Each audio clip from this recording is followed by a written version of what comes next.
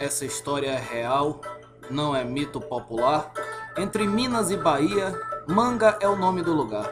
Em Andiutiba, o município onde nasceu quem vou contar. 1917, nasceu Antônio Montalvão, naquela terrinha mineira mesclando cerrado e sertão, nascia predestinado a ser lembrado em seu chão. Aos 22 deu um tiro, matou um cruel capataz, de um coroné de Goiânia, Antônio já era um rapaz. Partiu Montalvão pro exílio em busca de vida com paz. Antônio, que nem terminara o terceiro ano primário, agora em Buenos Aires, lia até dicionário, estudou de tudo um pouco, virou revolucionário. 1949, do exílio retornava, voltou sabido, requintado, até filosofia dominava, mas tinha uma ideia grande, uma cidade seria fundada. Voltou com essa ideia que alguns julgaram insânia, criar uma cidade mística, isso seria uma façanha, e o nome da cidade? Mas é claro, Montalvânia. A ideia era simples, um centro de desenvolvimento, uma cidade moderna, sem tristeza e sem lamento. A ideia de Montalvão era trazer conhecimento.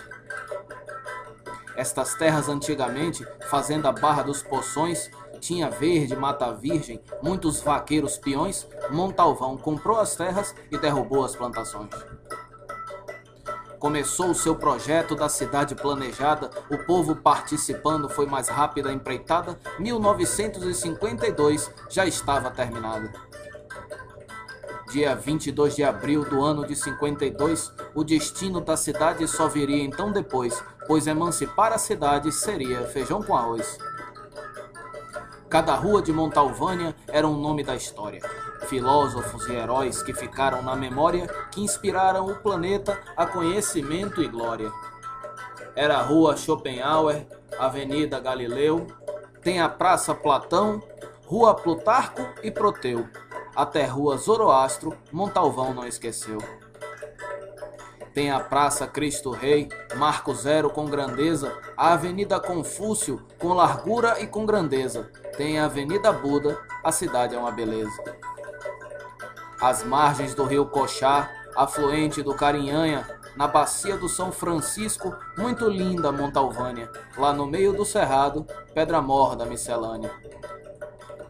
No aniversário de três anos da cidade planejada, a polícia foi chamada para acabar com aquela farra. Montalvão entrou no meio e a briga foi dobrada. Ele deu tiro no sargento escapou de oito soldados. Falam até de Montalvão sumindo por dentro do mato, virando toco de pau, escapando dos macacos.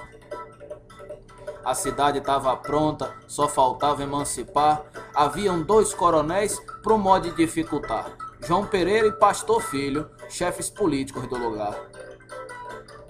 Montalvão teve a ideia em Manga virar prefeito. 1959 assumia aquele pleito. Com Montalvão no poder, o plano era perfeito. Em 1960, conseguiu a maior loucura. Pegou o material necessário para funcionar a prefeitura, botou tudo encaixotado com a sua assinatura. No dia seguinte, o povo ia mesmo se chocar, pois a prefeitura de Manga estava a 80 quilômetros de lá, no centro de Montalvânia, para a cidade emancipar. Durante o seu mandato, vendeu duas propriedades para asfaltar Montalvânia, melhorar sua cidade, soltou um boi branco na pista como símbolo de divindade. Lá tem água encanada, telefone e correio tem posto de saúde para tratar o povo inteiro, tem campo de aviação para voar com passageiro. Montalvão queria agora um eixo de desenvolvimento, de Montanha a Brasília, uma estrada de sustento, como uma linha direta para acabar com passo lento. 1966 partiu de foice inchada, 40 homens na mão e foi abrindo picada, 543 quilômetros de estrada. Botou uma caminhonete verde, marca Willis, nada mal, sentou ligeiro ao volante, Montalvão era radical, inaugurou a primeira linha direta com a capital. Sonhava Montalvão com a nova Troia invencível, com os tempos do Monte Alban, no México imperecível, por isso ele construía tudo dentro do possível.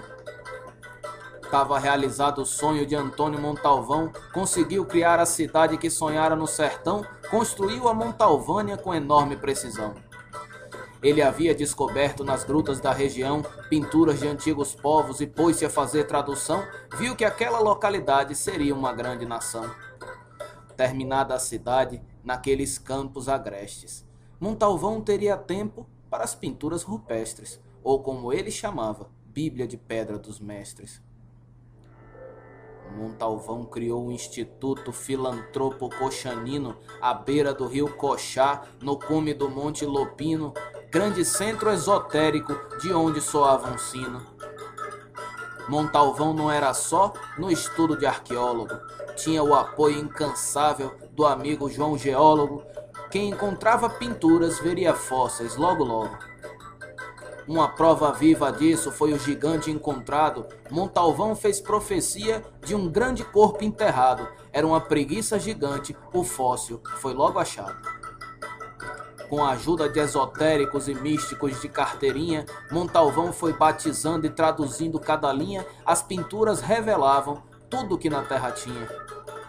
Tem a lapa da Hidra, de Zeus, de Poseidon, abrigo dos diplodocos, lapa do deus Amon, e a lapa do gigante da preguiça Megaton. Para ele, Montalvânia era o berço da humanidade. Por isso, a insistência em construir aquela cidade. Era isso que a Bíblia de Pedra revelava na verdade. O povo ficava besta com as coisas de Montalvão, dizia que as pinturas são de antiga civilização que voava em aparelho, disco voador e avião.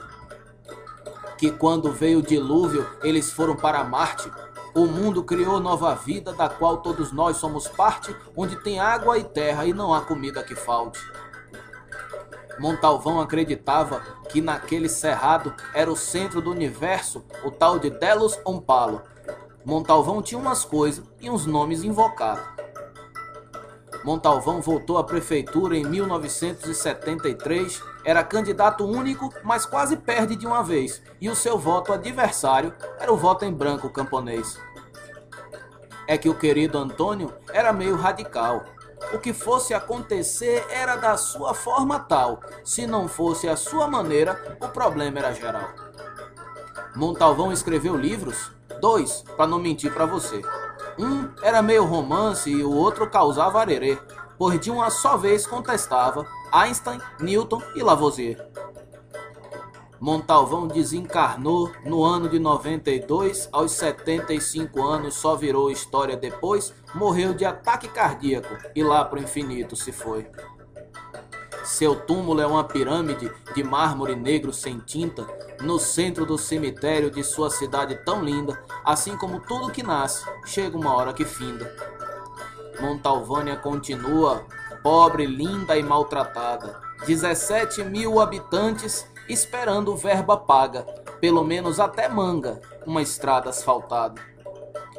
Agradeço ao amigo Vicente Jaú de BH ter falado em Montalvânia pro modo eu pesquisar. É verdade, meu amigo, o que tu falou de lá.